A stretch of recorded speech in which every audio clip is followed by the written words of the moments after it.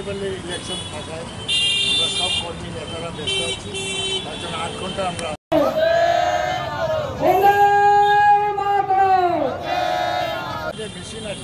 নিরপেক্ষভাবে শান্তির এইটুকু আমার বক্তব্য।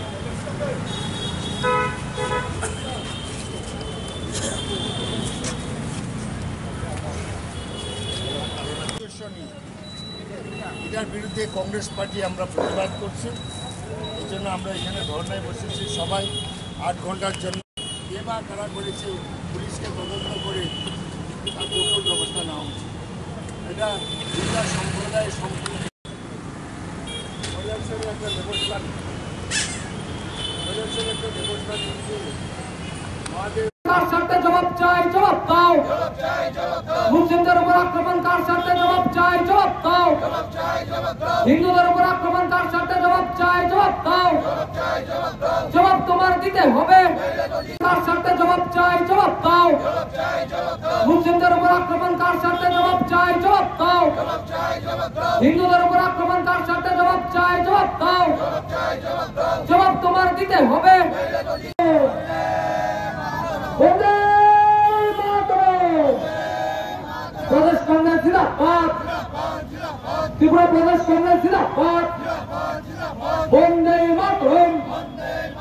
বসবাস করতে হবে। শান্তির পরিবেশ বজায় রেখে।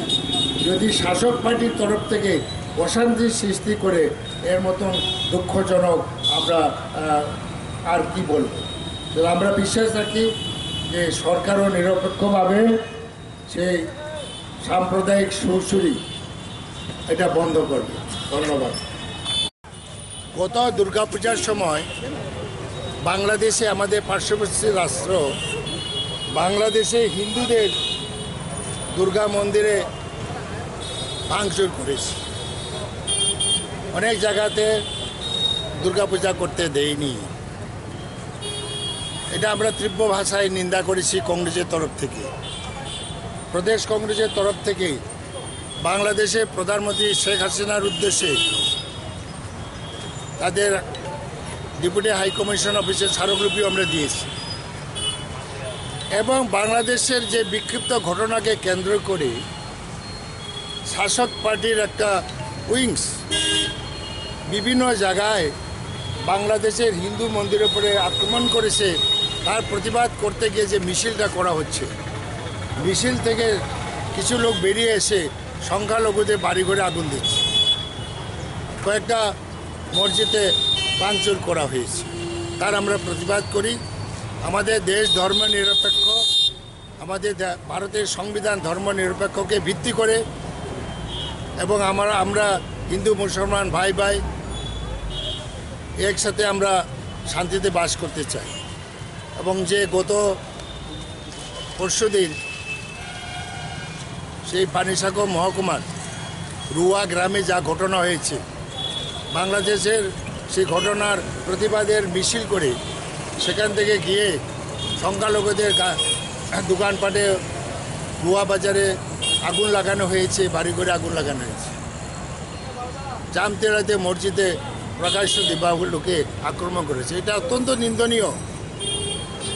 ফটিকরায় থানাধীন এমরাবাসা এবং পালপাড়াতেও অনুরূপভাবে এসব ঘটনা যার ফলে সেই সব এরি- এরিয়ার হিন্দু, মুসলমান মানুষের মধ্যে একটা শঙ্কা, আতঙ্ক।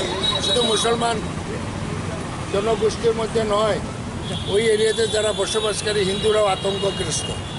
তো আমরা আজকে ধর্নায় বসেছি, সরকারকে কঠোর হস্তে এটা দমন করা যায় মঞ্চ থেকে রাজ্য সরকারকে, রাজ্যের মুখ্যমন্ত্রী মহোদয়কে আমরা অনুরোধ করব। দাবি জানাব, রাজ্যের সংখ্যালঘুদের রক্ষা করার জন্য।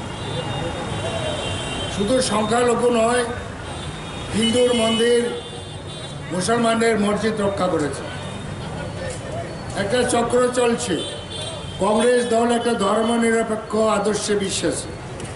ভারতের সংবিধান ধর্ম নিরপেক্ষকে ভিত্তি করে রচিত হয়েছে। এই ধর্ম নিরপেক্ষ না থাকলে ধর্ম নিরপেক্ষকে মজবুত মজবুত না করলে ভারতের ঐক্য সংহতি বিনষ্ট হবে। তার জন্য ধর্ম নিরপেক্ষকে শক্তিশালী করার জন্য সর্বধর্ম প্রতি শ্রদ্ধাশীল হয়ে যাতে রাজ্য শাসন করে আমরা এটা কংগ্রেস পার্টির তরফ থেকে রাজ্যবাসীর কাছে আমরা দাবি রাখি। বাংলাদেশে ঘটনা হয়েছে, আমরা তীব্র ভাষায় নিন্দা করি। তীব্র ভাষায় নিন্দা করি। বাংলাদেশের গভর্নমেন্টকেও আমরা দাবি রেখেছি, যারা হিন্দু মন্দির মন্দিরদের মূর্তি ভাঙচুর করেছে, তাদের কঠোর শাস্তির ব্যবস্থা করে। এবং আমাদের রাজ্যেও আমাদের রাজ্যেও হিন্দু সংগঠনের নামে মিছিল করে ধর্মীয় সংখ্যালঘুদের উপরে আঘাত করা চলবে না। তারা একটা ধর্মনিরপেক্ষ রাষ্ট্র হিসাবে প্রশাসনে নিরপেক্ষ থাকতে হয়। কৈলাসরও আমরা দেখেছি, একটা সংখ্যালঘু মুসলমানের বাড়িতে হামলা হয়েছে এবং সেখানে ফুটেছে টিভি ফুটেছে ধরা পড়েছে। একটা বিজেপি আশ্রিত যুবকে করেছে। সব মিডিয়াতে চ্যানেলে ভাইরাল হয়েছে। আমরা এই মঞ্চ থেকে বলব, এই- এই দুষ্কৃতকারীকে অনতিবম্বে গ্রেপ্তার করে দৃষ্টান্তমূলক শাস্তি দিতে আজকে আমরা আট ঘণ্টার গণধর্ণা চলছে।